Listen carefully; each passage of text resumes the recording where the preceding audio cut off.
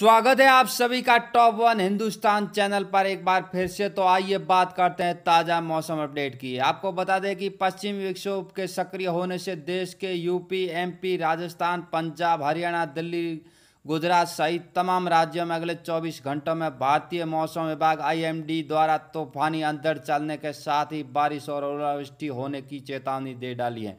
तो दोस्तों मौसम से जुड़ी संपूर्ण जानकारी जानने के लिए आप बस हमारे साथ वीडियो के अंत तक बने रहेगा लेकिन वीडियो शुरू करने से पहले आपसे एक रिक्वेस्ट रहेगी कि अभी तक आपने इस चैनल को सब्सक्राइब नहीं किया तो जल्दी से सब्सक्राइब कर लें, साथ ही वीडियो को लाइक करना भी ना भूलें, क्योंकि आपका एक लाइक हमारा मनोबल बढ़ाएगा और आपको हर रोज़ मौसम से जुड़े वीडियो उपलब्ध करवाते रहेंगे। तो चलिए शुरू करते हैं वीडियो और बताते हैं आपको ताज़ा मौसम अपडेट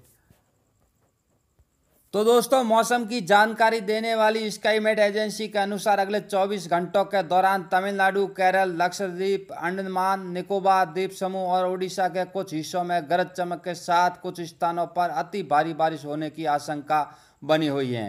वहीं पश्चिमी हिमालय और पूर्व उत्तर भारत में मध्यम बारिश जारी रहेगी। अब पंजाब, हरियाणा, दिल्ली, यूपी, बिहार, झारखंड और गंगे पश्चिम बंगाल में भी बारिश की गतिविधियाँ बढ़ने की उम्मीद है। राजस्थान में भी धूल भरी आंधी चलने के साथ, गरज चमक के साथ बहुत सारे गिर पड़ सकती हैं और कहीं कहीं ओलावृष्टि भी हो सकती हैं। छत्तीसगढ़ के कर्नाटक के कुछ हिस्सों में छुटपुट बारिश की संभावना है। उत्तर पश्चिमी और उससे सटे मध्य भारत में तापमान में गिरावट देखने को मिलेगी। देश की राजधानी दिल्ली की मौसम की बात करें तो दिल्ली में 30 से 31 मई के बीच दिल्ली, नोएडा, गुरुग्राम, गाजियाबाद, फरीदाबाद, पलवल सहित आसपास शहरों में हल्की से मध्यम बारिश होगी। बारिश के साथ ही कुछ स्थानों पर तेज बौछारें गिर सकती हैं। तेज हवाएँ चलने और बादलों की गर्जना होने की संभावना है। चरम पर पहुँची गर्मी अब कम हो गई है और लोगों को गर्मी से राहत मिलनी शुरू हो गई है। अनुमान है कि दो जून तक गर्मी का प्रकोप नहीं दिखेगा। इसी तरह से बरकरार रहेगी क्योंकि एक और दो जून को भी बारिश की संभावना है। हालाँकि इकतीस मई के बाद बारिश की तीव्रता काफ़ी कम हो जाएगी।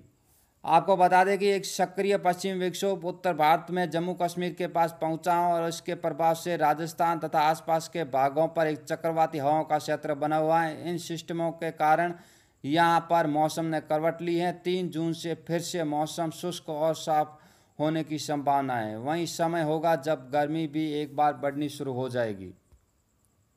मध्य प्रदेश की बात करें तो अगले दो दिनों तक तक मध्य प्रदेश में छुटपुट बारिश की संभावना है, परंतु 31 मई को बारिश बढ़ेगी तथा 1 जून से 4 जून के बीच मध्य प्रदेश के कई जिलों में, विशेषकर पश्चिमी और दक्षिणी पश्चिमी जिलों में तेज बारिश तथा तेज हवाएँ चलने की संभावना है, जिससे तापमान में भारी गिरावट होगी और लू का प्रकोप लगभग समाप्त हो जाएगा। जून के पहले सप्ताह में मध्य प्रदेश के कई जिलों में अच्छी बारिश जारी रहने के आसार हैं।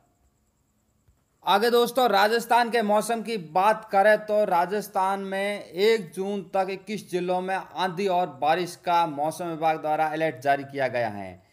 मौसम विभाग ने शुक्रवार को पश्चिम विक्षोभ के सक्रिय होने की बात कही है। हिमालय तराई क्षेत्रों में सक्रिय हो रहे पश्चिम विक्षोभ के असर से प्रदेश के पूर्वोत्तर इलाकों में अंधड़ और मेघ गर्जना के साथ बहुत सारे गिरने और पारे में गिरावट होने पर गर्मी से राहत मिलने की उम्मीद जताई है। आपको बता दें कि बीकानेर, जोधपुर, हनुमानगढ़, नागौर, बाड़मेर, श्रीगंगानगर, अलवर, भरतपुर, धौलपुर, जयपुर, सीकर, सवाई, माधोपुर, दौसा, झुंझुनू, करौली, अजमेर, कोटा, बूंदी, उदयपुर, भीलवाड़ा और चित्तौड़गढ़ में मौसम विभाग ने एक जून तक आंधी चलने और बारिश होने की चेतावनी दी है। वहीं दोस्तों, बीते 24 घंटों की बात करें तो तमिलनाडु, केरल, लक्षद्वीप और अंडमान और निकोबार द्वीप समूह के कुछ हिस्सों में भारी से बहुत भारी बारिश हुई है।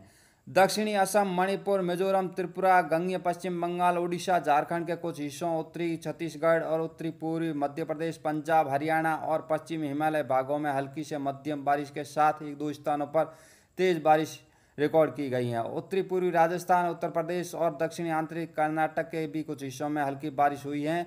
उत्तर पश्चिमी के मैदानी इलाकों में कई हिस्सों में लू का प्रकोप समाप्त हो गया है। तो दोस्तों, आज के इस वीडियो में मौसम से जुड़ी संपूर्ण जानकारी आपको दे दी गई है। वीडियो अच्छा लगा हो तो लाइक करें और आगे से आगे इस वीडियो को शेयर करें ताकि अन्य लोगों को भी ताज़ा मौसम की जानकारी मिल सके। जय हिंद, धन्यवाद।